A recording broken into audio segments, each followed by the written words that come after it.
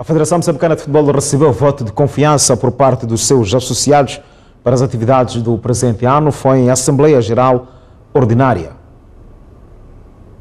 Antes da aprovação do plano de atividade e orçamento para 2018, foi apresentado o relatório das atividades e o orçamento de toda a ação feita no ano passado.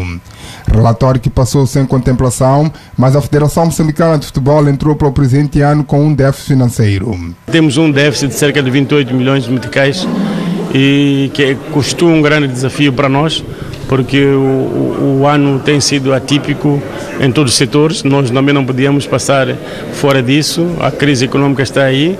Na nossa informação, quando intervimos, fomos claros que continuamos firmes, determinados a, a vender o futebol a todos os parceiros, mas as respostas não têm sido muito eh, positivas, mas eh, acreditamos que com a persistência e com o nosso querer, iremos encontrar formas. No ano passado tínhamos um déficit bem maior que esse, mas conseguimos recuperar e, e ficamos com um nível muito baixo de, de, do déficit do orçamento. E foi com o déficit financeiro que a Federação Moçambicana de Futebol elaborou as suas atividades para 2018 um ano que as seleções nacionais estarão em diversas frentes, com jogos de qualificação para os campeonatos africanos de 2019. As atividades estão em curso, as competições, as seleções nacionais já começaram a se movimentar. Temos o jogo na próxima semana da, da eliminatória para o Sub-20 e, e, temos os campeonatos nacionais da segunda liga que estão, estão a acontecer.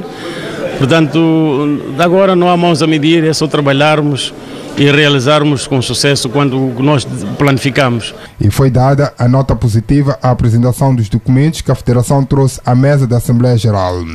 Em unanimidade, as 11 associações deram o voto de confiança ao elenco diretivo liderado por Alberto Simango Júnior para avançar com o programa elaborado para o presente ano. Agora o que falta é só pormos mãos à marcha, porque o, os presidentes das associações continuam a confiar em nós e nós estamos determinados a fazer a nossa parte para o bem de todos e para o desenvolvimento da modalidade de forma particular. Em 2018, a Federação Moçambicana de Futebol tem como a maior aposta a organização do Campeonato Nacional da Segunda Divisão. A Taça de Moçambique Fase Nacional é a outra competição de destaque que está sobre a égide da Federação Moçambicana de Futebol. E a grande esperança de Alberto Semango Júnior é de qualificar as seleções nacionais aos Campeonatos Africanos das Nações do próximo ano.